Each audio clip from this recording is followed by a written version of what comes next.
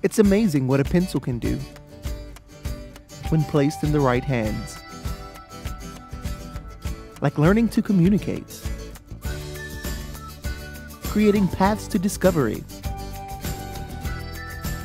and making mistakes okay when learning something new. Every day, our teachers inspire and energize, capture, and create.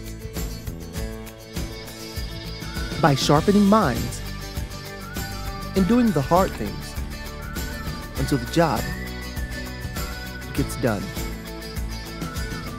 Something as simple as a pencil in our teacher's hands dares dreams to come true.